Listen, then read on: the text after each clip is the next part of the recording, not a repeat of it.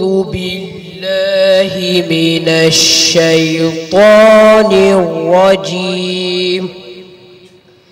بسم الله الرحمن الرحيم.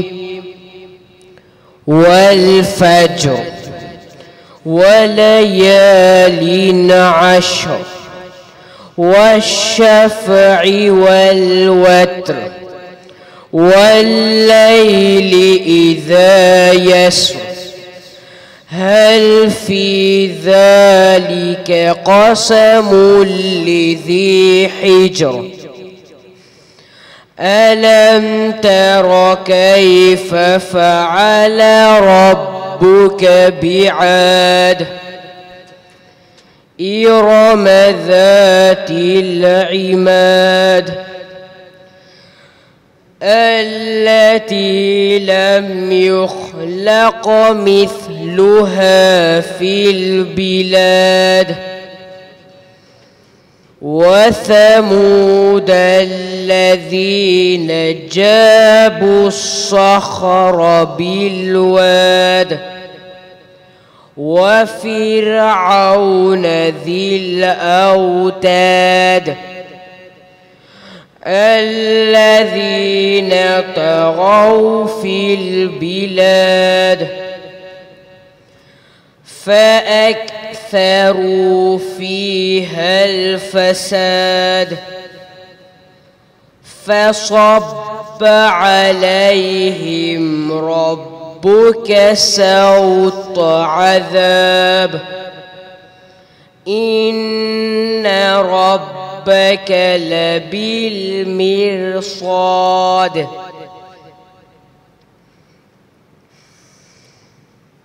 فأما الإنسان إذا ما ابتلاه ربه فأكرمه فأكرمه ونعمه فيقول ربي أكرمن.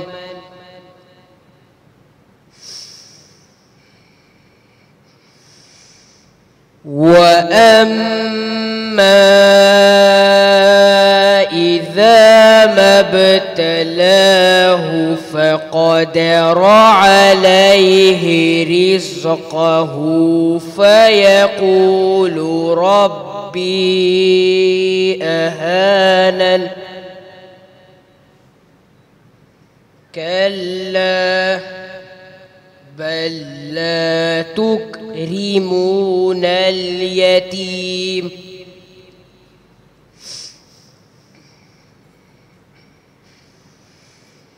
ولا تحادون على طعام المسكين وتأكلون التراث أكلا لما وتحبون المال حبا جما.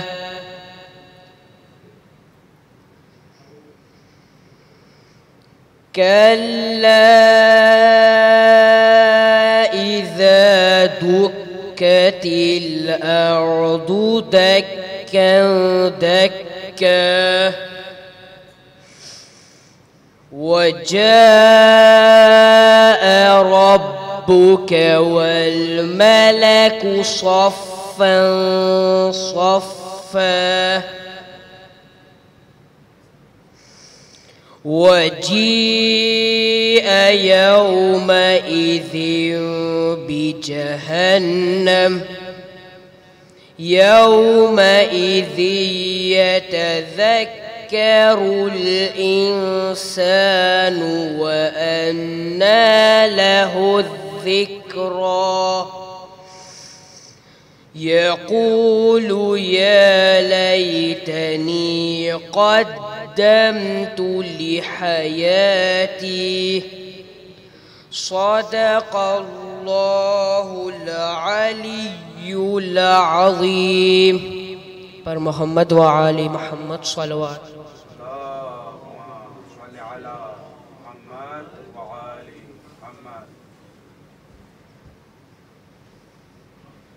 پر محمد و آل محمد صلوات.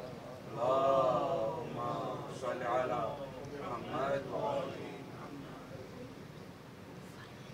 اے چار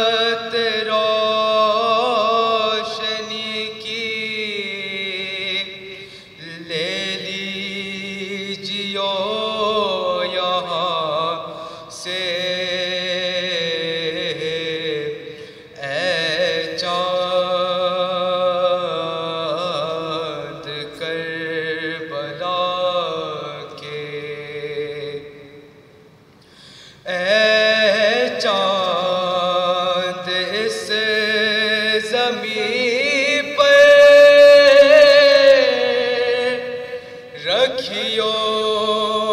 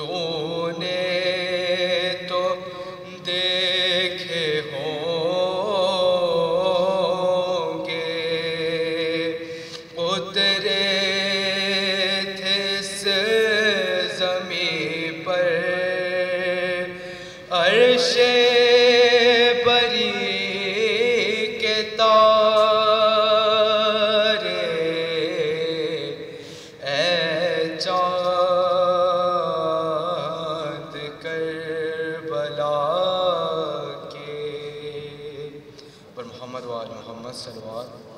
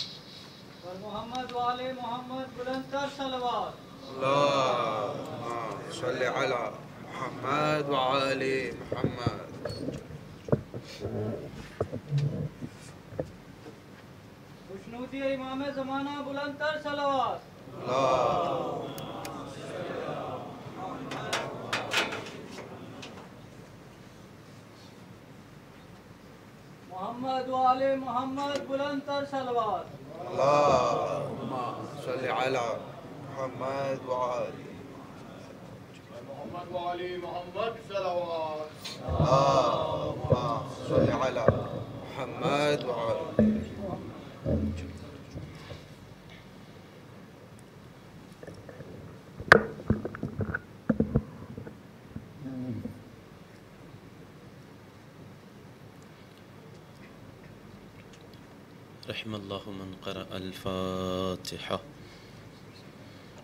بسم الله الرحمن الرحيم. الحمد لله رب العالمين. الرحمن الرحيم. مالك يوم الدين. إياك نعبد وإياك نستعين. اهدنا الصراط المستقيم. صراط الذين أنعمت عليهم غير المغضوب عليهم ولا الضالين. صدق الله العلي العظيم. صلوات پر محمد و محمد.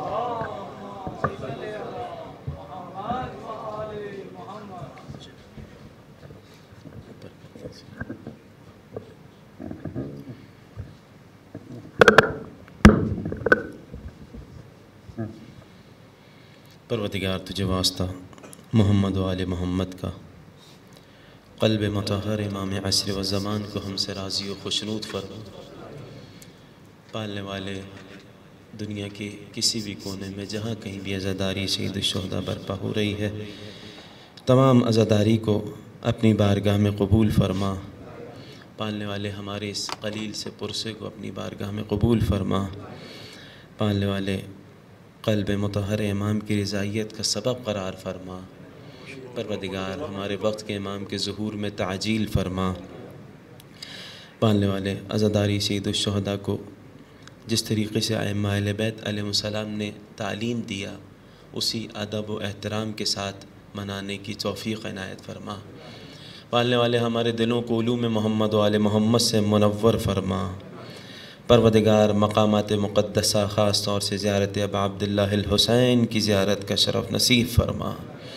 پروردگار، تجھے واسطہ محمد و آل محمد کا حاضرین میں، سامعین میں جتنے مؤمنین و مؤمنات دلوں میں حاجات رکھتے ہیں، تمام کی حاجات کو اپنی بارگاہ میں قبول فرما۔ پالنے والے، سید الشہداء کے غمزدہ میں ہمیشہ غمزدہ رہنے کی توفیق عنایت فرما۔ پروردگار کسی بھی طریقے سے عزاداری سید الشہداء میں اپنا حصہ ڈالنے کی توفیق عنایت فرما۔ پالنے والے تجھے واسطہ محمد و محمد کا، جو بیمار ہے، بیمار کربلا کے صدقے میں شفائے کلی عنایت فرما۔ جو بے اولاد ہیں، اولاد صالحہ کے متمنی ہیں، مولا کائنات کی ولایت پہ ثابت قدم رہنے والی اولاد عنایت فرما۔ پالنے والے مظلوم کربلا کا واسطہ جتنے مؤمنین و مؤمنات دلوں میں حاجات رکھتے ہیں، تمام کی حاجات کو اپنی بارگاہ میں قبول فرما۔ پروردگار، ہم سے، ہمارے مرحومین سے، تمام سے اس ذکر کو اپنی بارگاہ میں قبول فرما۔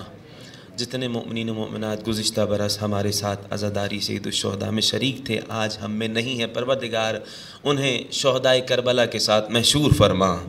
ربنا تقبل منا إنك أنت السميع العليم وتب علينا إنك أنت التواب الرحیم تمام حاجات کی قبولیت کی نیت سے مل کے بآواز بلند صلوات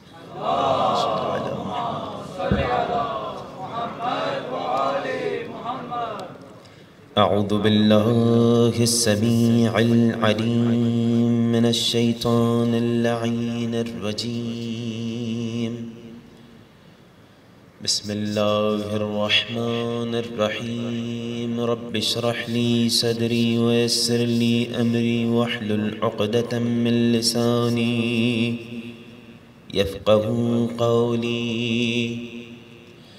الحمد لله الذي علا في تبحده ودنا في تفرده وجل في سلطانه وعظم في أركانه وأحاط بكل شيء علما وهو في مكانه وقهر جميع الخلق بقدرته وبرهانه مجيدا لم يزل محمودا لا يزال والصلاة والسلام والتحية والإكرام على سيد الأنام.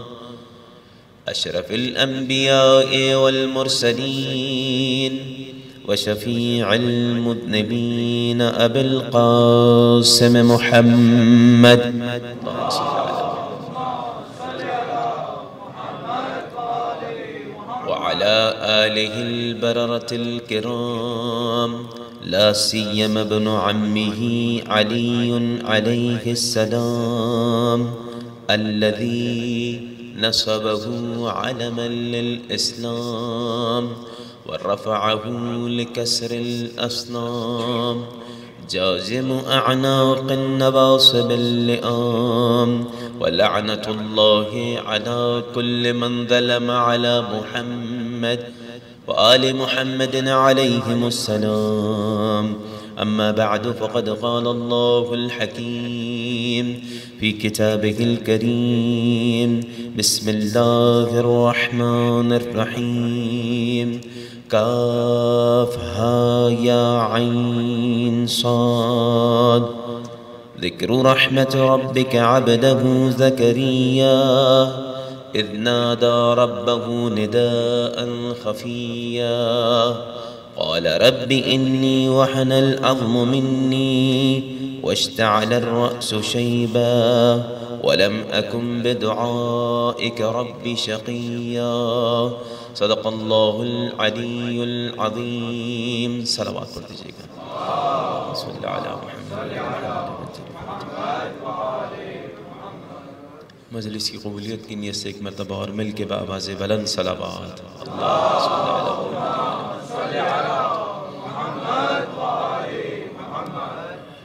کائنات کے نبی، حضرت محمد مصطفیٰ صلی اللہ علیہ وآلہ۔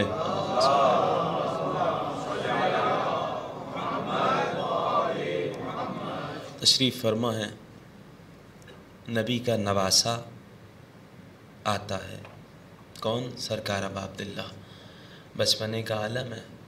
سوال کر رہے ہیں آکے یا ابتا ما لمن زارانا اے میرے بابا، جو ہماری زیارت کرے گا، اسے کیا ملے گا؟ سوال۔ بابا کہہ کے سوال کیا ہے رسول کریم کو۔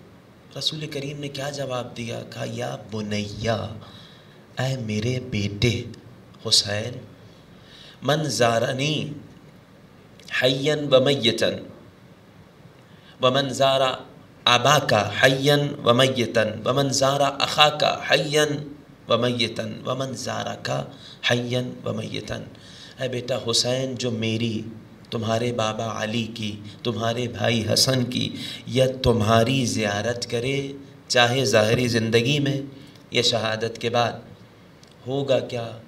حقا علیہ ان ازورہ یوم القیامہ اس زائر کا مجھ نبی کی گردن پہ یہ حق ہے کہ قیامت کے دن میں اس کی زیارت کو آؤں گا۔ وَأُخَلِّسَهُ مِن ذُنُوبِهِ، اسے اس کے گناہوں سے چھٹکارا میں دلاؤں گا۔ ذمہ داری لے رہا ہوں، نبی کریم۔ حتیٰ اُدْخِلَ الْجَنَّةِ بِيَدِي اپنے ہاتھوں سے پکڑ کے جنت میں لے جاؤں گا۔ یہ تین وعدے نبی ثقلین نے کیے۔ میں چاہتا ہوں مجلس کی ابتدا کرنے سے پہلے کربلا معلّہ کی سرزمین پہ چلیں۔ امام حسین کی بارگاہ میں سلام پہنچائیں۔ اس امید اور دعا کے ساتھ کہ پروردگار دنیا و آخرت میں ابا عبداللہ الحسین کے ساتھ محشور فرمائے۔ السلام علیک یا أبا عبداللہ وعلى الأرواح التي حلت بفنائك عليك مني سلام الله. أبدا ما بقيت وبقي الليل والنهار ولا جعله الله آخر العهد. مني لزيارتكم مل کے امام کی بارگاہ میں السلام على الحسين وعلى علي بن مل کے امام کی بارگاہ میں پرسہ پیش کرتے ہوئے وقت کے امام کو السلام علی الحسین۔ جزاک اللہ وعلى علي بن وعلى أولاد الحسين وعلى أصحاب الذين بذلوا مهجهم دون الحسين. وقت کے امام کی بارگاہ میں پرسہ پیش کرتے ہوئے صلوات. اللہم صلی علی محمد وعلی محمد. قابل احترام سامین پروردگار آپ تمام کی عزاداری کو اپنی بارگاہ میں قبول فرمائے. کربلا کی سرزمین پہ روضہ امام حسین پہ سیاہ پرچم لگ چکا ہے۔ استقبال ماہ محرم کے عنوان سے مجلس۔ ائمہ اہل بیت علیہ السلام نے خود استقبال کر کے بتایا کہ کیسے اس ماہ کا استقبال کرو۔ میرے آٹھویں امام امام رضا علیہ السلاۃ والسلام، اللہم صلی اللہ علیہ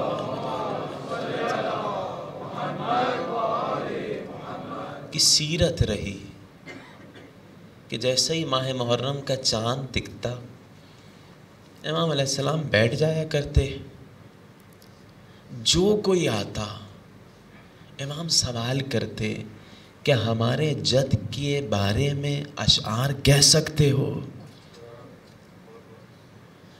جیسے امام کو پتہ چلتا کہ یہ ہمارے جد کے اشعار کہتا ہے، دعا کہتے دعا دینے کے بعد فوراً کہتے بس، یہیں پہ مجلس کی جائے۔ تم بیٹھو، میں بیٹھ کے سنوں گا ہمارے جد کے اشعار کہو گریا ہوتا تھا، مصائب بیان کیے جاتے تھے۔ یہاں تک کہ عجیب جملہ ملا تاریخ میں۔ ثمرات الاعماد میں علی ابن الحسین ہاشمی نقل کرتے ہیں کہ جب ہمیں معلوم نہیں ہوتا تھا محرم کا چاند دکھا ہے یا نہیں دکھا؟ تو ہم ساتویں امام ان کے گھر کے پاس سے گزرتے تھے۔ جب آ ہو بکا کی صدا بلند ہوتی تھی، گریے کی آوازیں آنے شروع ہو جاتی تھیں ہم سمجھ جاتے تھے کہ محرم کا چاند دکھ گیا ہے۔ اہل بیت علیہ السلام کے گھر میں فرش ازا بچ چکا ہے۔ یہ کیا طریقہ کار ہے؟ سوال. کسی شخص کا انتقال ہوتا ہے، کوئی شہید ہوتا ہے، شہادت کے دن گریا ہوتا ہے، بہت زیادہ گریا ہوتا ہے، تو سال گزرنے کے بعد جب وہی دن آتا ہے، تو اس دن لوگ بیٹھ کے یاد کرتے ہیں، مجلس کرتے ہیں، گریا کرتے ہیں۔ لیکن کیا ایسی بات ہے سید الشہداء کے غم میں؟ کہ امام اور امام کے چاہنے والے یوں محرم کا چاند دکھا اور گریا کرنے لگ جاتے ہیں۔ کیا وجہ ہے؟ یہ وہ سوال ہے جو سوال میرے آقا و مولا امام جعفر صادق علیہ السلاۃ والسلام۔ اللہم صلی اللہ سوال کیا گیا۔ با ادب شخص تھا سوال کرنے والا۔ سیدی جعل تو فداق اے میرے سید، اے میرے آقا میں آپ پہ فدا قرار پاؤں۔ اگر طبیعت کو گرا قدر نہ گزرے تو میں ایک سوال کروں۔ کا سوال کروں۔ مولا، سوال یہ ہے کہ ان المیتا یجلسون لہو بن نیاحت کسی میت پہ جب گریا کیا جاتا ہے تو جب انتقال ہوتا ہے، اس وقت گریا کیا جاتا ہے۔ یا زیادہ سے زیادہ سال گزرنے کے بعد وہی دن جب آتا ہے تو گریا کیا جاتا ہے۔ لیکن آرا کم وشیعت کم میں دیکھتا ہوں آپ لوگوں کو اور آپ کے شیعوں کو، چاہنے والوں کو۔ ابھی عاشور کا دن نہیں آیا ہوتا، چاند دکھتا ہے اور آپ گریا شروع کر دیتے ہیں۔ چاند دکھتا ہے اور فرش ازاں بچ جاتا ہے۔ کیا وجہ ہے؟ امام علیہ السلام نے دعا دی اور عجیب وجہ بتائی ہے۔ عجیب وجہ بتائی ہے واقعی۔ کہ یا حضائے بندہ خدا جب سوال کیا ہے تو سنو۔ اذا حلا حلال المحرم، جب ماہ محرم کا چاند دکھتا ہے تو ہماری اور ہمارے شیعوں کی کیفیت صرف ایسی نہیں ہوتی، بلکہ نشرت الملا قمیص الحسین فی السما فرشتے آتے ہیں، آسمان میں پھیل جاتے ہیں سید الشہداء کا وہ کرتا آسمان پہ لے کر نشر کرتے ہیں۔ کیسا کرتا ہوتا ہے؟ مخرقن بالسیوف۔ تلوار سے پارا پارا ہو چکا ہوتا ہے وہ کرتا۔ ملتقن بالدماء۔ خون آلودہ وہ کرتا۔ آسمان میں فرشتے لے کر آہو بکا کرتے ہیں۔ فنراہو۔ ہم اس کرتے کو دیکھتے ہیں۔ وشیعتنا اے بندہ خدا، جان لو، صرف ہم نہیں دیکھتے، ہمارے شیعہ بھی اس کرتے کو دیکھتے ہیں۔ لیکن بل بصیرہ، لا بل بسر دل کی آنکھ سے دیکھتے ہیں۔ ان آنکھوں سے نہ دیکھ سکے تو نہ دیکھیں۔ دل کی آنکھ سے دیکھتے ہیں، فتن فجر دمو ہمارے آنسو چھلک پڑتے ہیں۔ ہم گریا کرتے ہیں۔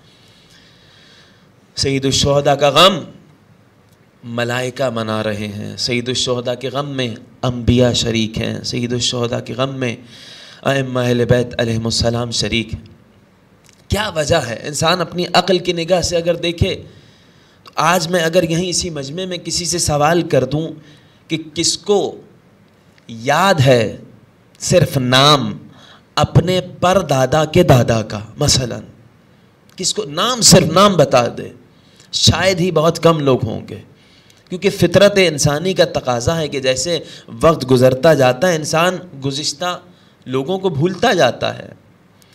مگر کیا وجہ ہے چودہ سو سال گزر گئے؟ آج تک جیسے ہی ماہ محرم آتا ہے، غم امام حسین کم ہونا چاہیے تھا۔ مگر نہ صرف کم ہوا، بلکہ دنیا کے کونے کونے میں یہ غم بڑھتا جا رہا۔ کیا وجہ ہے؟ ایک وجہ سمجھ آتی ہے جو میرے سرکار حضرت محمد مصطفیٰ صلی اللہ علیہ وآلہ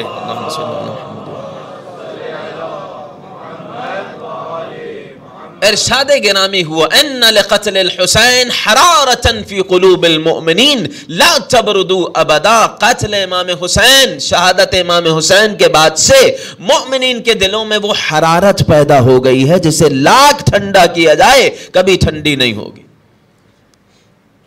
ذکر امام حسین پہلی محرم کل ہے۔ میرے آٹھویں امام امام رضا علیہ السلام اللہم صلی اللہ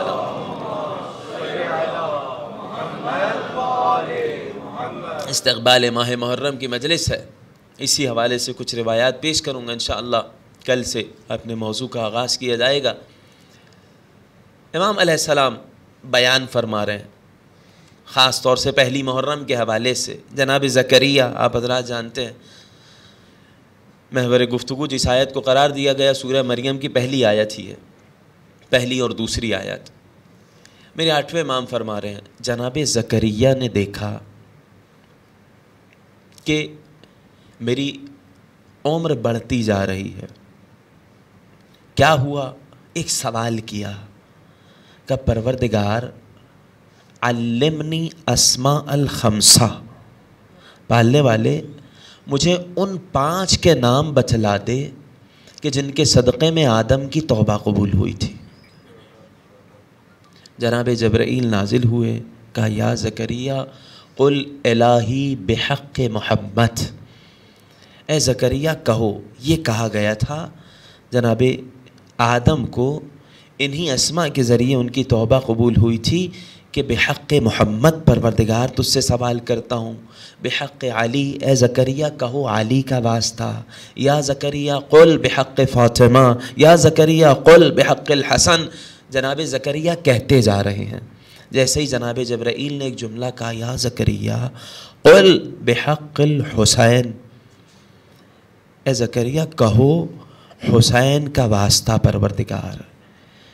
جناب زکریہ نے جیسے ہی کہا فختنقا وستعبرا آنکھیں نم ہوئی، آنسو چھلک پڑے. دوبارہ کہا، بحق الحسین. آنسو چھلک پڑے فوراً کہا، یا حبیبی جبرائیل، اے میرے بھائی جبرائیل، میں نے چار نام پہلے لیے ایسی کیفیت نہیں ہوئی، لیکن جب میں پانچواں نام لے رہا ہوں، میرا دل رنجیدہ ہو رہا ہے، میری آنکھیں نم ہو گئیں۔ ایسا کیا ہے اس نام میں؟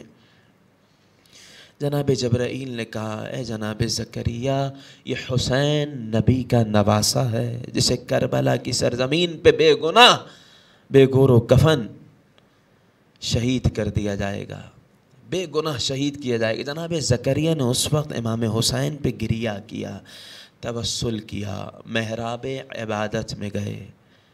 جناب جبرائیل نے ایک جملہ کہا، بار بار، کاف، ہا، یا، عین ساتھ جناب جبرائیل نے جب یہ جملہ کہا، جناب زکریہ نے کہا، اے جبرائیل یعنی کیا مطلب؟ میں نہیں سمجھا۔ کاف، ہا، یا، عین، سات، سورہ مریم کی ابتدا۔ ذکر رحمت رب کا آبدہ زکریہ میں ترجمہ کر دوں۔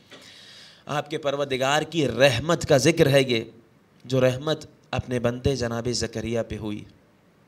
اذنا دا رب بہو ندا ان خفیہ، جناب زکریہ نے آہستہ سے اللہ کو پکارا تھا۔ بہت آہستہ سے۔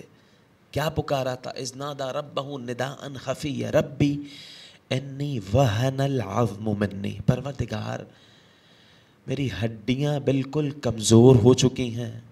میں بوڑھا ہو چکا ہوں۔ وشتعل الرأس شیبہ سر کے بال سفید ہو چکے ہیں۔ مگر اس کے باوجود، ولم اکن بے دعا ایک ربی شقیہ پروردگار، تجھ سے دعا کرنے سے میں مایوس نہیں ہوں۔ پالنے والے، سوال کر رہا ہوں کہ مجھے بے اولاد نہ رکھنا، مجھے اولاد عطا فرما۔ بوڑھے ہو چکے ہیں۔ ومرات آخر میری بیوی باج ہے، مگر پروردگار، تجھ سے دعا کرنے میں میں نا امید نہیں ہوں۔ جناب جبرائیل نے آ کے کہا، کاف، ہا یا آئین ساتھ۔ یہ جملہ کہا۔ جناب جبرائیل کی تعلیم کردہ دعا کے جملے پڑھے۔ جناب زکریہ نے کہا، پروردگار، انہی ہستیوں کا واسطہ دے کے سوال کر رہا ہوں، مجھے بے اولاد نہ رکھنا۔ پروردگار اپنی طرف سے مجھے وارث عطا فرما۔ دعا قبول ہوئی۔ حکم آیا، اے زکریہ پہلی محرم کو روزہ رکھو، اللہ سے دعا کرو، روزہ رکھا، دعا کی۔ جناب زکریہ نے کہا، پروردگار، ویسے مجھے کیسے اولاد ہوگی؟ میں تو بوڑھا ہو چکا ہوں۔ کہا جب پروردگار نے کہہ دیا تو ہوگی۔ پروردگار سے نا امید نہیں ہونا۔ ان ہستیوں کا تم نے واسطہ دیا ہے جن ہستیوں کے صدقے میں جناب آدم کی توبہ قبول ہوئی آٹھویں امام فرماتے ہیں، جناب زکریہ نے پہلی محرم کا روزہ رکھا، جو کوئی اس حاجت کو طلب کرنا چاہے، اولاد کی حاجت، خاص طور سے پہلی محرم کو روزہ رکھے، پروردگار سے دعا کرے۔ پروردگار امام حسین کے صدقے میں دعا قبول فرمائے گا، اولاد عطا فرمائے گا، تمام بے اولاد لوگ۔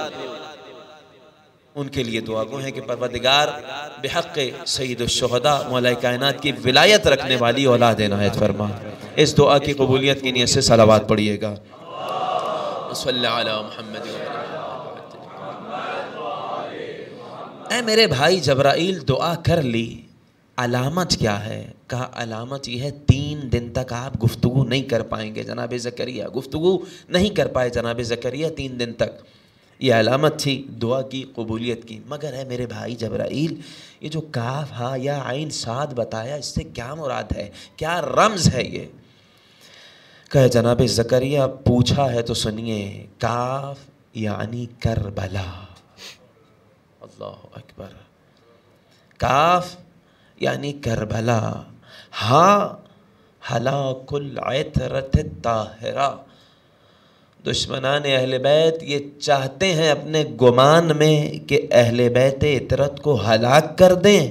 شہید ہو کر گئی پروردگار، ان کا ذکر باقی رکھے گا۔ اے جناب جبرائیل یا سے مراد کیا ہے؟ یزید الملعون۔ جناب زکریہ نے اس وقت قاتل حسین یزید پہ لعنت کی ہے، ہر نبی نے لعنت کی ہے۔ اس وقت جناب زکریہ نے لعنت کی۔ اے جناب جبرائیل، عین سے مراد کیا؟ تین دن کا پیاسا حسین ذبح کیا جائے۔ عزاداری کی قبولیت کی نیت سے سلامات پڑھیے گا۔ اللہم صلی اللہ علیہ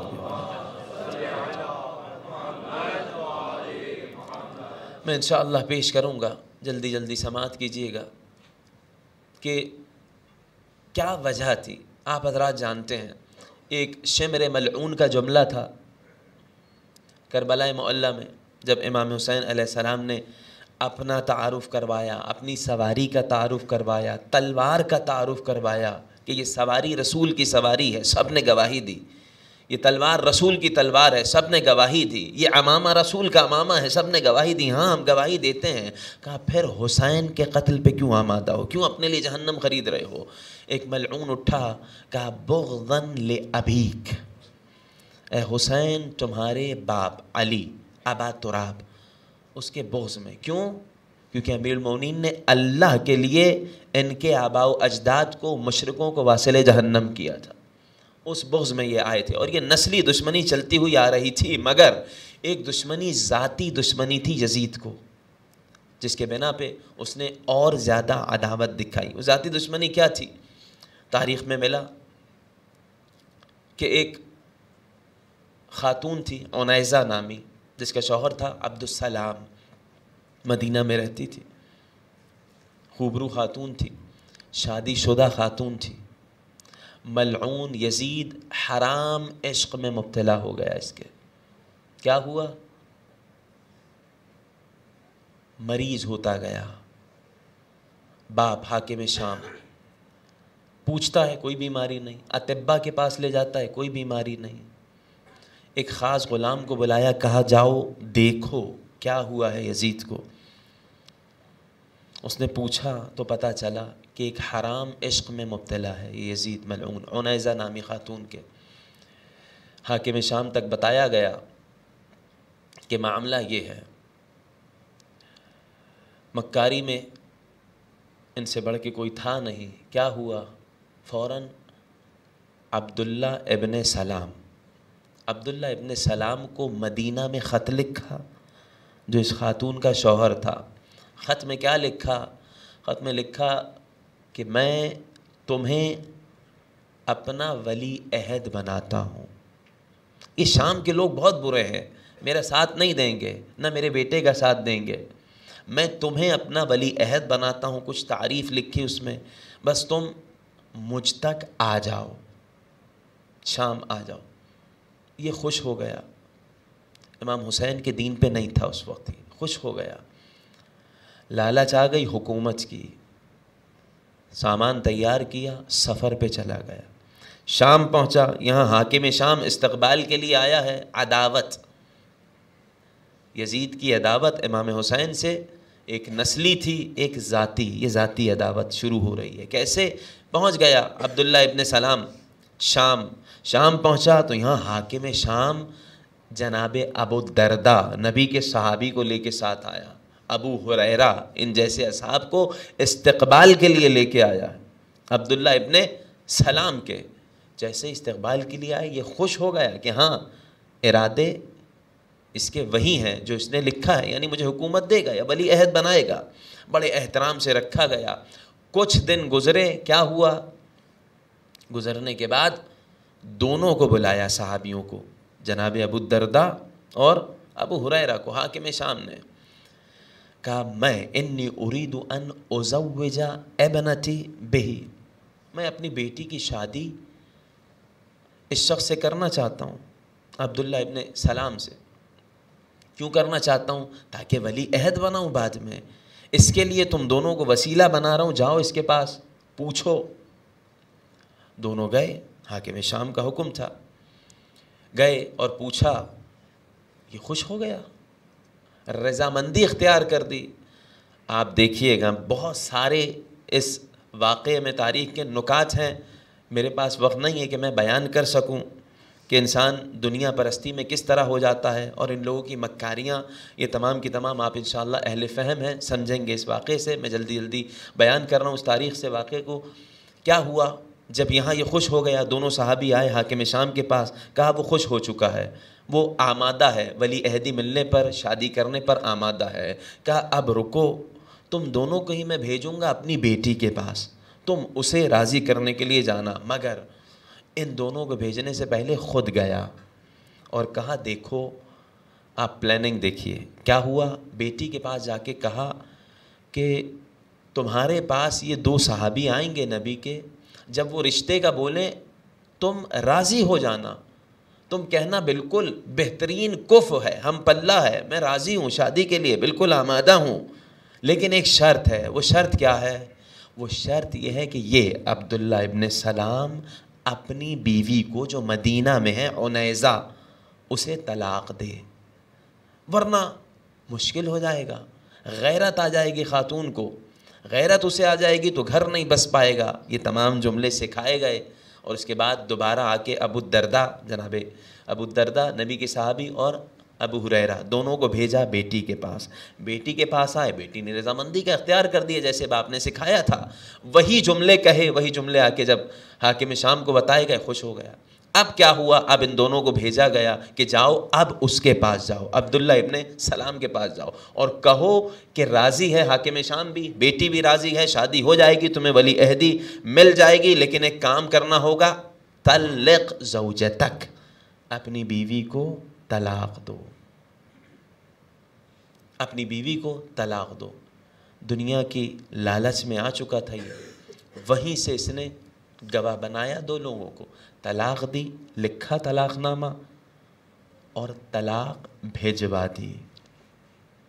طلاق بھیجوا دی، جب طلاق وہاں پہنچی، اب یہاں پہ نہ حاکم شام اس کی طرف دیکھ رہا ہے، نہ اس کے ہواری دیکھ رہے ہیں، کوئی توجہ نہیں کر رہا اس کی طرف۔ یہ در بدر ادھر ادھر جا رہا ہے، پریشان حال گھوم رہا ہے۔ اب کوئی اس کا پرسان حال نہیں ہے۔ ان کا شیوا تھا، دھوکہ دینا، دھوکہ دیا۔ کیا ہوا؟ ہوا یہ کہ یہاں سے ابو دردا کو بھیجا حاکم شام نے کہ اب جاؤ، عدت مکمل ہو جائے اس خاتون کی، تو میرے بیٹے یزید سے رشتہ کر دو، کیونکہ وہ بیمار تھا۔ آپ جان رہے ہیں ایک حرام عشق کی وجہ سے۔ کس طریقے سے؟ ان لوگوں نے یہ پلان کیا، طریقہ کار کی۔ اپنایا۔ کیا ہوا؟ بھیجا گیا ابو دردا صحابی۔ اتنے عرصے بعد جب مدینہ آئے، مدینہ آنے کے بعد زارا قبر نبی نبی ثقلین کی قبر متحر کی زیارت کی۔ اس کے بعد کیا ہوا؟ راستے میں جو ملتا، کہتا کہ اے صحابی نبی، کیسے آنا ہوا؟ یہ بتاتا پورا واقعہ کہ میں رشتہ لینے آیا ہوں۔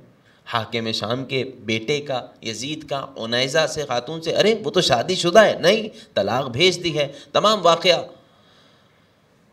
ملا کون؟ بہت سارے لوگ ملے، میں جلدی جلدی بیان کر رہا ہوں۔ عبداللہ ابن زبیر۔ عبداللہ ابن زبیر ملا۔ کہا ابو کیسے آنا ہوا؟ واقعہ بتایا۔ کہا، اذکرنی اندہا۔ اس کے پاس میرا ذکر کرنا، میرا بھی پیغام پہنچانا شادی کا۔ میں مہر دینے کو تیار ہوں بہت زیادہ۔ کیا ہوا؟ کہا ٹھیک ہے، پیغام پہنچانا ہے، پہنچا دیں گے۔ وہاں سے بھی ایک پیغام، دوسرا پیغام، ایک اور صحابی ملا۔ میں جلدی جلدی بیان کر رہا ہوں۔ اس نے بھی یہی جملے کہے۔ کیا ہوا؟ عادت تھی اس صحابی کی، ابو الدردہ کی۔ ابو الدردہ کی عادت یہ تھی کہ مدینہ میں جب داخل ہوتا تو امام کے در پہ ضرور آتا تھا۔ امام حسین صلوات اللہ علیہ، صلوات پڑھ دیجیے گا امام کی ذات اللہ صلی اللہ علیہ جلدی جلدی سنیے گا، توجہ کیجیے گا۔ امام علیہ السلام کی حکمت، امام علیہ السلام کی اطاعت، تمام چیزیں اس میں بیان ہوں گی۔ توجہ کیجیے گا۔ امام حسین علیہ السلام کی بارگاہ میں یہ شخص آیا، سلام کیا، ابو الدرداء نے، امام حسین علیہ السلام نے استقبال کیا، صحابی نبی تھا۔ گفتگو ہوئی، کیسے آنا ہوا ہے صحابی نبی؟ بیان کیا سارا واقعہ۔ عجیب حکمت ہے امام حسین کی۔ جملہ کہا، اے ابو الدرداء، تو کیا ارادہ ہے؟ کہا، جاؤں گا فرزند رسول۔ حاکم شام کے بیٹے یزید کا رشتہ لے کے جاؤں گا۔ عبداللہ ابن زبیر نے بھی دیا، ایک اور نے بھی دیا۔ امام علیہ السلام نے کہا، اذکرنی اندہا، میرا ذکر بھی اس کے پاس کرنا۔ توجہ کیجیے گا، حکمت ہے امام حسین کی۔ کیا مطلب؟ یہ میں بیان کر رہا ہوں۔ میرا ذکر بھی کیا مطلب؟ میرا بھی رشتہ دینا۔ وہاں پہ دشمنی کیسے شروع ہوئی؟ توجہ کیجیے گا۔ میرا بھی رشتہ دینا وہاں پہ۔ مہر، بہت زیادہ مہر، کئی ہزار درہم مہر امام نے رکھا، بتایا۔ ابو دردا وہاں گئے۔ اب یہاں سے ایک جو ہے وہ تاریخ کا جملہ ہے، میں بیان کر ہی دے رہا ہوں۔ جب لکھا ہے، میں نے پڑھا ہے۔ ثمرات الآباد علی ابن الحسین ہاشمی کی کتاب۔ کیا جملہ ہے؟ داخل ہوئے، سلام کیا خاتون کو۔ سارے پیغام دیے اور کا بہت سارے پیغام ہیں۔ دیکھو، اگر صرف دنیا چاہتی ہو تو یزید کا رشتہ ہے۔ دنیا چاہتی ہو صرف تو یزید کا رشتہ ہے۔ اگر ایک کنجوس شخص سے شادی کرنا چاہتی ہو، لیکن بہرحال لڑاکو ہے، عبداللہ ابن زبیر۔ اگر دنیا اور آخرت دونوں چاہتی ہو تو حسین کا رشتہ ہے۔ ایک اور جملہ ہے، میں نقل کر رہا ہوں۔ ابو دردا نے کہا، و ادا توریدین لا دنیا ولا آخرہ فنا ایدن موجود۔ اگر نہ دنیا چاہیے، نہ آخرت چاہیے تو میں بھی ہوں۔ یہ جملہ لکھا ہے۔ کیا ہوا؟ عجیب بات ہے۔ کہا، تم کیا مشورہ دو گے؟ کہا، میں نے کہا، اگر دنیا و آخرت چاہیے تو حسین ابن علی، کریم، امام کے فضائل بیان کیے، کریم۔ اس نے کہا، میں حسین ابن علی سے رشتے پر راضی ہوں۔ کیا ہوا؟ امام حسین علیہ السلام نے مہر بھجوایا، الگ سے گھر اس خاتون کے لیے مہیا کیا۔ رشتہ ہو گیا لیکن امام حسین آئے نہیں۔ بہت سارے تحفے تحائف مہر سب بھیج دیا، یہ انتظار میں ہے۔ نہیں آئے، گھر معین ہو گیا، یہ خاتون ہے، کیا ہوا؟ وہاں پہ یزید تک یہ خبر پہنچ گئی۔ یہ خبر پہنچ گئی کہ امام حسین علیہ السلام نے رشتہ ازواج میں لے لیا، ازدواج میں لے لیا ہے۔ کیا ہوا؟ وہاں سے پریشان حال، عبداللہ اس خاتون کا گزشتہ شوہر آیا، عبداللہ ابن سلام مدینہ میں داخل ہوا۔ وہاں کوئی پرسان حال نہیں تھا اس کا۔ جیسے ہی داخل ہوا، اس کو یہ پتہ چلا، امام نے بلوایا۔ بلوانے کے بعد بٹھایا۔ بٹھانے کے بعد کہا کہ کوئی حاجت ہے؟ کہنے لگا، سرکار، بس ایک حاجت ہے، ابھی حسینی نہیں تھا یہ. میں نے ایک امانت رکھوائی تھی، اپنی گزشتہ زوجہ کی طرف وہ امانت لینا چاہتا ہوں۔ امام حسین علیہ السلام نے پیغام بھیجوایا اس خاتون کو کہ کیا ایسی کوئی امانت تھی؟ کہاں ہاں امانت تھی، بالکل تھی۔ فلاں فلاں جگہ رکھی ہے، نکال کے صندوق سے وہ امانت دی، وہ امانت کیا تھی؟ کھول کے بھی نہیں دیکھا تھا۔ اس شخص تک جیسے ہی ملی وہ امانت، اس کے گزشتہ شوہر کو دیکھ کے رونے لگا۔ امام نے کہا، کیوں رو رہے ہو؟ کہتا ہے، میرے آقا بہت بڑا دھوکہ ہو گیا۔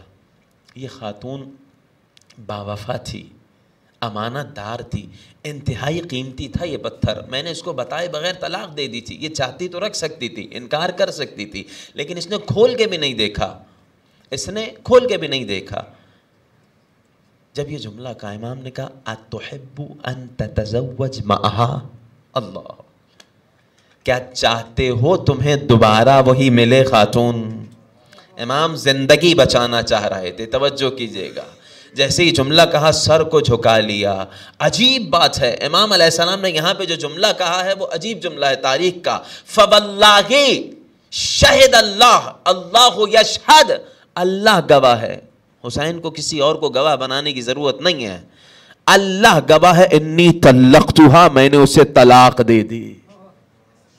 یہاں طلاق دی، اس کے بعد تمام کا تمام مہر ہیبا کیا، دوبارہ اس خاتون سے تجویز کی۔ یہ دونوں پہلے حاکم شام کے مذہب پہ تھے، اب حسینی بن گئے تھے۔ جیسا ہی یہاں امام حسین علیہ السلام کی ولایت و امامت کا اقرار کیا، وہاں حاکم شام اور اس کے بیٹے یزید کو یہ بات بہت بری لگی۔ یہ ایک دوسری دشمنی کا سبب تھا کہ یزید کے دل میں یہ دشمنی تھی۔ جو لوگ کہتے ہیں نا، نعوذ باللہ، بڑا دیندار تھے۔ اوپر سے کچھ دینداری کا لبادہ اوڑا ہوا تھا، لیکن یزید نے تمام کے تمام پردے چاک کر دیے تھے۔ یہ وہ دشمنی تھی جو ذاتی دشمنی، جس کے سبب یزید نے ایک اور اقدام کیا اور بہت زیادہ اہل بیت علیہ السلام پہ، امام حسین علیہ السلاۃ والسلام پہ ظلم کیا۔ ایک نسلی دشمنی آ رہی تھی۔ سید الشہدا کا غم، ماہ محرم داخل ہو رہا ہے۔ سید الشہدا کا غم ائمہ اہل بیت علیہ السلاۃ والسلام نے منایا۔ یہ غم ائمہ اہل بیت علیہ السلام نے بچلایا کہ کیسے انجام دیا جائے۔ عجیب روایت استقبال ماہ محرم۔ نبی کریم نے جب امام حسین علیہ السلام کو اپنی آغوش میں لیا، اس کے بعد ایک جملہ کہا، اکیلے میں آغوش میں لیا کہہ رہے ہیں، لعن اللہ قاتلیک. اے حسین، خدا کی لعنت ہو اس پہ جو تم پہ ظلم کرے، تمہیں قتل کرے۔ یہ کہہ رہے ہیں، بوسا دے کے نبی ثقلین گریا کر رہے ہیں۔ شہزادی کونین داخل ہو گئی کہ بابا، کیا بات کر رہے ہیں؟ کیا بیٹی فاطمہ تمہارا یہ بیٹا بے جرم و بے خطا قتل کیا جائے گا۔ اللہ اکبر۔ بعض جگہ عجیب جملہ ملا۔ شہزادی کونین آ کر زمین پہ بیٹھ گئی ہیں۔ فرش ازا پہ بیٹھے ہیں نا۔ استقبال ماہ محرم۔ کہا، بابا، کیا کہا آپ نے؟ میرے بیٹے کو قتل کیا جائے گا، شہید کیا جائے گا۔ ہاں زہرا پیاسا شہید کیا جائے گا۔ لیکن پروردگار کے نزدیک حسین کا بڑا اجر ہے۔ حسین کے صدقے میں اللہ میری امت کے گناہ گاروں کی شفاعت کروائے گا۔ اے بابا، اس وقت آپ ہوں گے۔ اجرکم علی الزہرا۔ اے بیٹی فاطمہ، میں نہیں ہوں گا۔ اے بابا علی ہوں گے بیٹی فاطمہ علی نہیں ہوں گے، نہ حسن ہوں گے، نہ آپ ہوں گی۔ فمن یبکی لابن الحسین۔ اجرکم علی الزہرا، پروردگار ان صداؤں پہ اپنی رحمت نازل فرمائے۔ میرے چھٹے امام نے سجدے کے عالم میں دعا دی۔ سوال، عجیب سوال کیا شہزادی کونین نے کہ کون روئے گا میرے بچے پر؟ رسول کریم نے کہا ہے زہرا، میری امت کی عورتیں حسین کی گھر والی عورتوں پہ روئیں گی۔ امت کے جوان حسین کے جوان پہ روئیں گے۔ امت کے بوڑھے حسین کے بوڑھوں پہ روئیں گے۔ امت کے افراد حسین پہ روئیں گے۔ اے بابا، میں ضمانت دیتی ہوں، میں شفاعت کرواؤں۔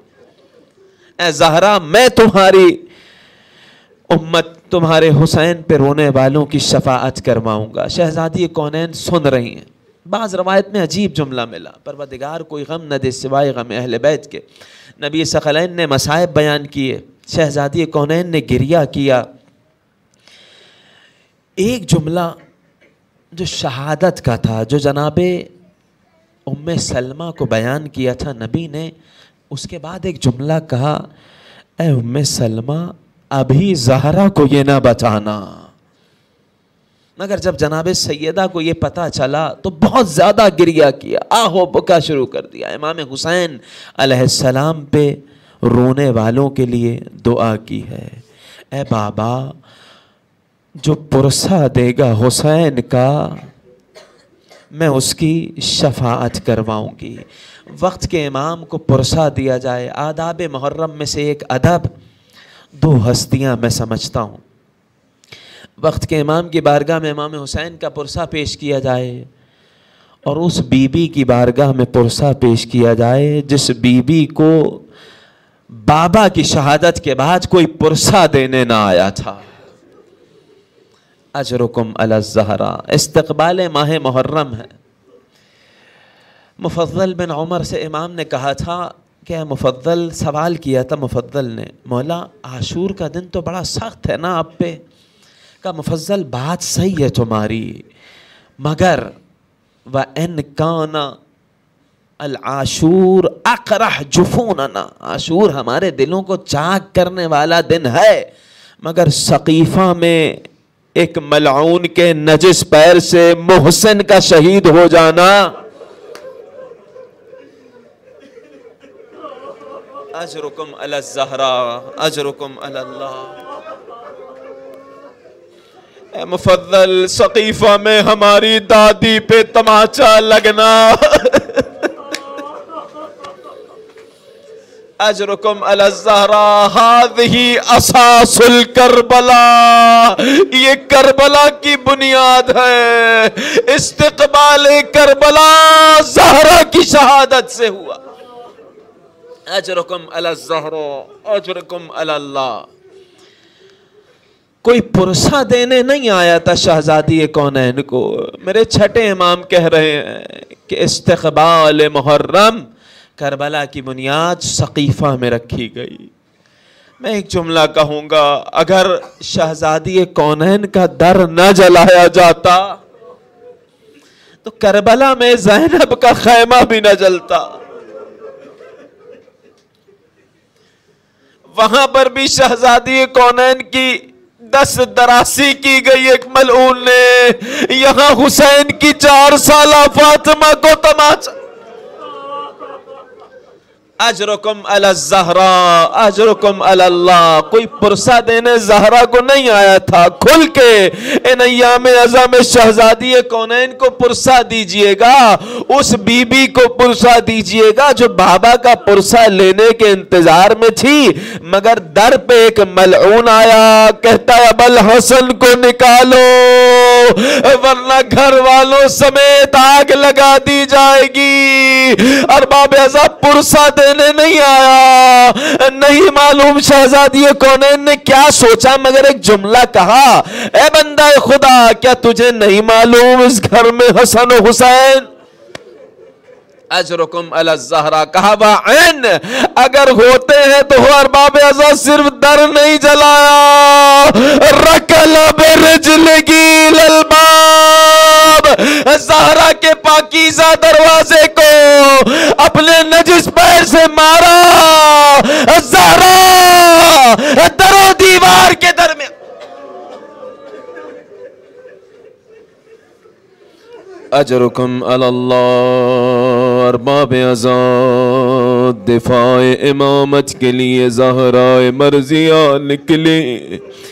اجرکم اللہ ارباب ازاد اب الحسن کے گلے میں رسی باندھ کر لے جایا جا رہا ہے۔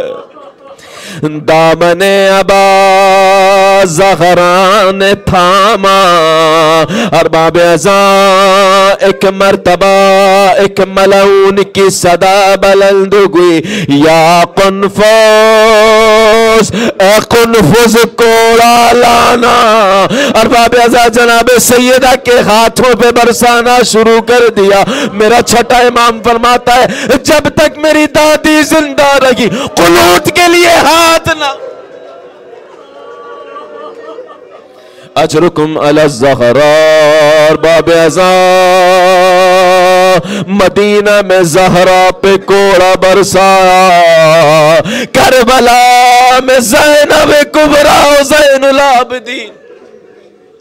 اجرکم علی الزہرا اجرکم علی اللہ ایک مرتبہ شہزادی کونین قبر نبی کی طرف متوجہ ہوئی قل للمغیب تحت تباق الثرا إن کنت تسمع سرختی و ندائیا کوئی قبر میں سوئے بابا کو یہ بتا دے اگر وہ زہرا کی آغو بکا سن سکے تو سنے کیا سنا رہی ہے زغرا صبت علی مسائب لو انغا صبت علی الایام، سرنا لیالیا۔ اے میرے بابا، آپ کے بعد زہرا پہ وہ مصیبتیں ٹوٹی۔ اگر روشن دنوں پہ پڑتی تو وہ تاریک رات میں تبدیل ہو جاتے۔ اجرکم علی الزہرا باب ازا ابھی زہرا کی مصیبتیں ختم نہیں ہوئی۔ ابھی زہرا کو کربلا میں آنا ہے۔ زبہ حسین کے وقت آنا ہے۔ اجرکم علی الزغرا، پروردگار، کوئی غم نہ دے سوائے غم اہل بیت کے۔ آخری جملہ روایت کا پیش کروں گا، امیر المؤمنین علیہ السلام نے شہزادی کونین کو جب دفن کیا۔ اب اس کے بعد اگلا دن آیا، کچھ ملعون آئے۔ کہا، ہم بنت رسول کی قبر کو کھولیں گے اجرکم اللہ ارباب ازا، ایک مرتبہ امیر المؤمنین آگے بڑھے، تو نے گھر جلایا، علی چپ رہا اجرکم علی الزہرا تو نے حق چھینا علی چپ رہا۔ لیکن اگر یہ بے حرمتی ہوئی، واللہ لاسقین الارض بدمائکم خدا کی قسم علی مدینے کی زمین کو تمہارے خون سے سیراب کر دے گا۔ ہاتھوں کو جوڑ کے امیر المومنین کی بارگاہ میں جاؤں گا۔ میرے مولا، قبر کی بے حرمتی نہ ہوئی تھی، لیکن آپ نے یہ جملہ کہا۔ آئیے بقیہ میں دیکھ کے فاطمہ زہرا کی قبر پہ مسمار ہو گئی قبر دھوپ میں۔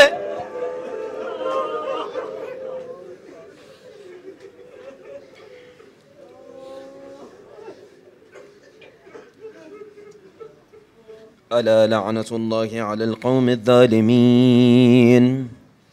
وسيعلم الذين ظلموا أي منقلب ينقلبون. إنا لله وإنا إليه راجعون. اللهم عجل لبليك الفرج ماتم حسين.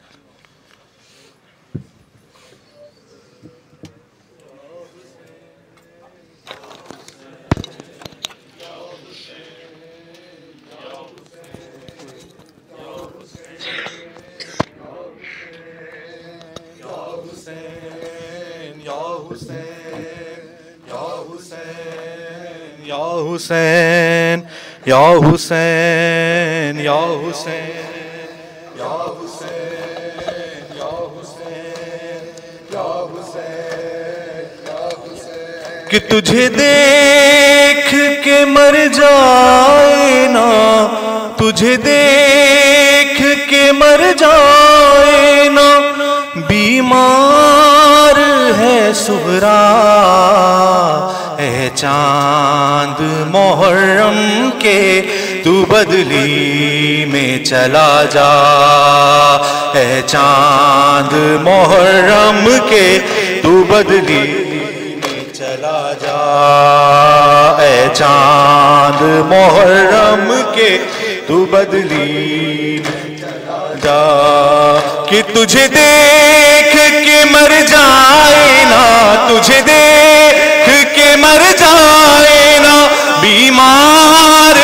سغرا اے چاند محرم کے تو بدلی میں چلا جا اے چاند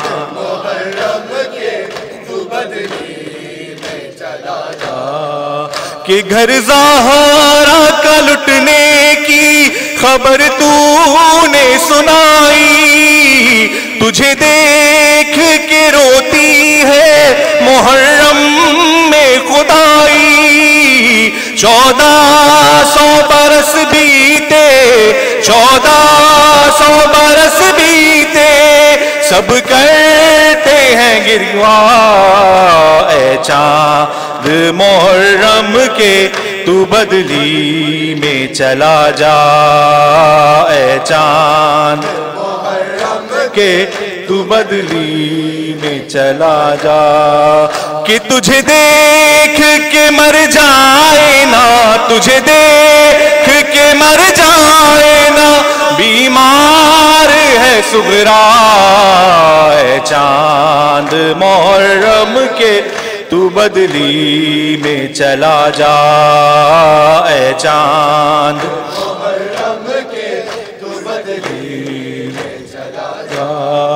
کہ ملنے کے لیے بھائی کو بے چین بڑی ہے۔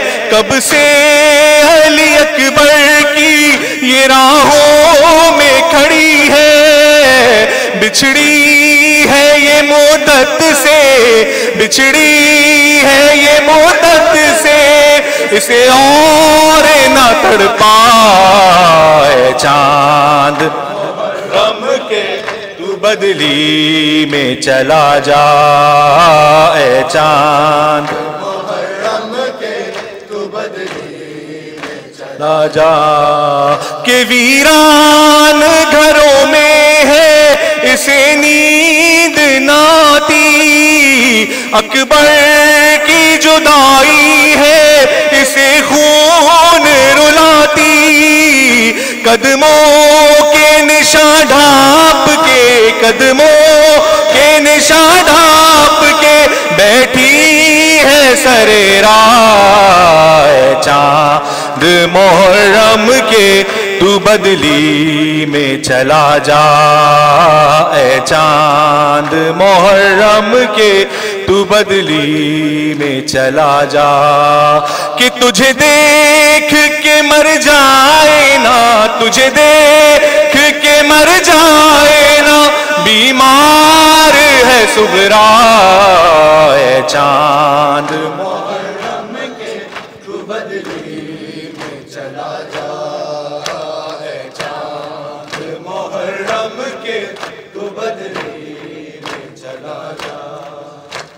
جو کائنات کی مالک ہے، اس کی تربت کا جو کائنات کی مالک ہے، اس کی تربت کا ارے نشان بنایا گیا ہے۔ نشان بنایا گیا ہے۔ بس ایک پتھر سے ہے۔ بلند ہوتے ہیں شولے بطول کے گھر سے بلند ہوتے ہیں شولے بطول کے گھر سے بلند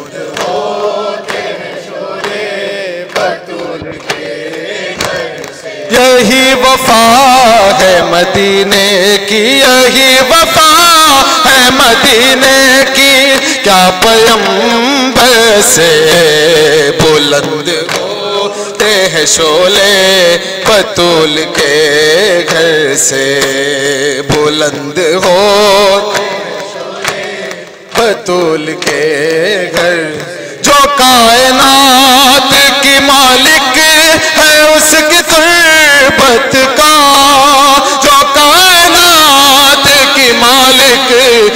اس کی تربت کا نشان بنایا گیا ہے نشان بنایا گیا ہے۔ بس ایک پتھر سے ہے، بلند ہوتے ہیں شولے بطول کے گھر سے۔ بلند ہوتے ہیں شولے بطول کے گھر سے بلند ہوتے ہیں کے شکست پہلو سے بہتا ہوا لہو تو نہیں۔ شکست پہلو سے بہتا ہوا لہو تو نہیں۔ لہو جو پہنچا ہے زہرا نے لہو، جو پہنچا ہے زہرا اپنی چادر سے بلند ہوتے ہیں شولے بطول کے گھر سے بلند ہوتے ہیں بطول کے گھر یہی وفا ہے مدینے کی، یہی وفا ہے مدینے کی۔ کیا پیمبر سے بلند ہو بطول کے گھر سے بلند ہوتے ہیں شولے بطول ہوا ہے کیسے یہ پیواست گال میں گوہر؟ ہوا ہے کیسے یہ پیواست گال میں ٹپکتا ہے کیسا؟ لاہو ٹپکتا ہے کیسا؟ بطول گوہر سے بلند ہوتے ہیں شولے بطول کے گھر سے بلند کو بطول کے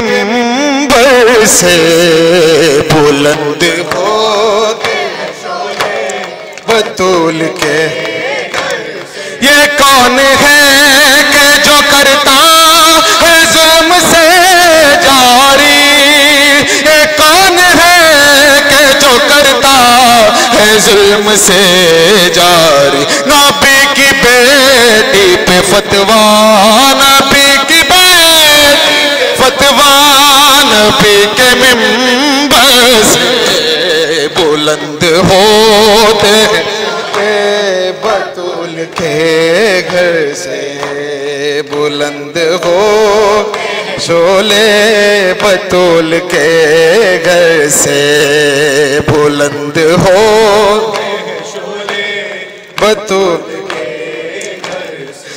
سفید ہو گئے کیوں سر کے بال زہارا کے؟ سفید ہو گئے کیوں سر کے بال زہارا کے؟ لائن کیا کہا اکبر؟ لائن کیا کہا اکبر؟ نبی کی دکھ تر سے ہے بلند ہوتے گئے شولے بطول کے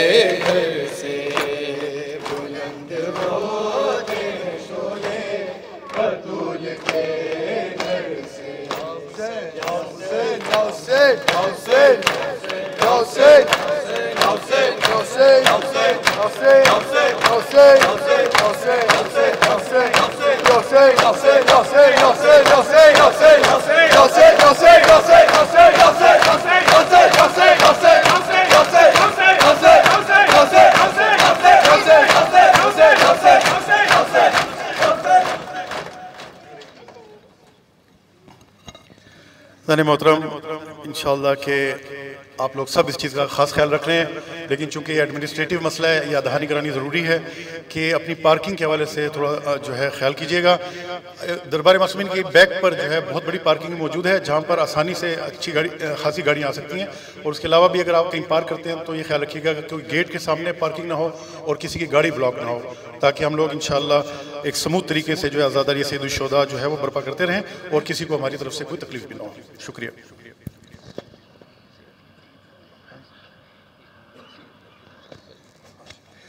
ایک ابھی درخواست ہے یہ ایک مومن بہت زیادہ علیل ہیں اور ان کی صحتیابی کے لیے ان کے گھر والوں نے خاص طور پر کہا ہے، آئیے تین مرتبہ اما یوجیب کی تلاوت کرتے ہیں تاکہ اس برادر مومن اور جتنے بھی پریشان حال ہیں پروردگار عالم، تمام مومنین مومنات کی تمام مشکلات کو حل کرے۔ اللہم صلی علی محمد وآل محمد وعجل فرجہم۔ بسم اللہ الرحمن الرحمن الرحيم. سم الكرم ما يجيب. دعاه ويكشف السوء أما يجيب. دعاه ويكشف السوء أما يجيب.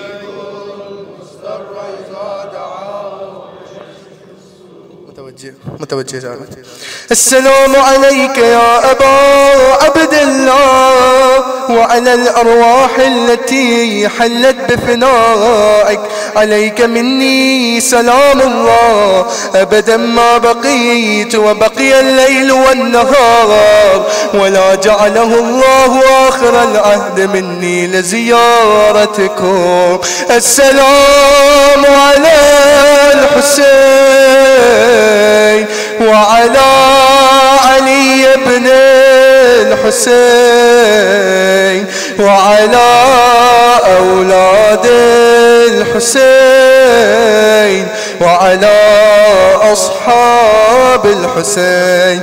السلام عليكم ورحمة الله وبركاته.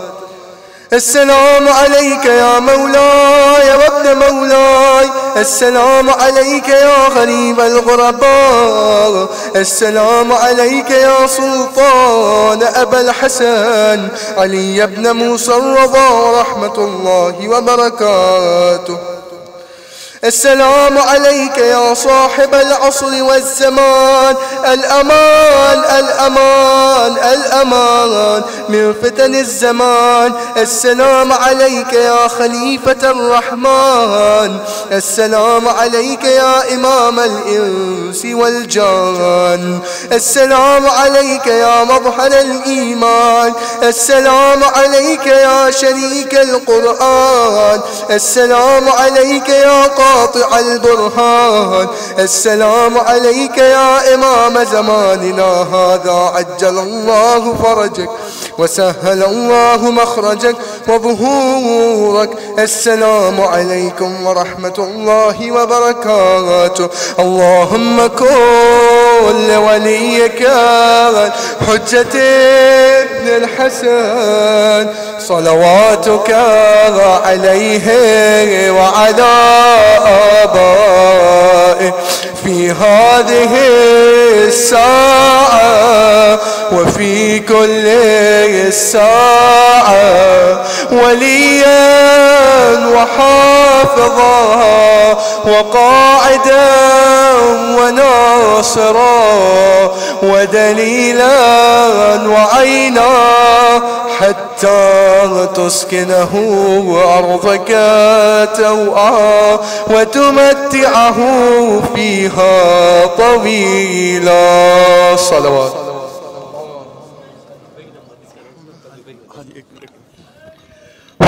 حضرت گرامی، ایک اور اہم اعلان سماعت فرما لیجیے گا۔ کل انشاءاللہ العزیز کل چھٹی کا دن ہے اور ایک چونکہ پہلی محرم ہے، تو اس کے لیے پہلی دفعہ دربار معصومین میں کل دوپہر کو مجلس رکھی جا رہی ہے۔ ایک بجے انشاءاللہ مجلس شروع ہو جائے گی اور ڈیڑھ بجے مولانا صاحب زیب ممبر ہو جائیں گے اور اس کے بعد انشاءاللہ نیاز کا بھی اہتمام ہے۔ تو یہ پہلی دفعہ مجلس ہے، آپ تمام مومنین و مومنات سے اس میں شرکت کی صدا ہے۔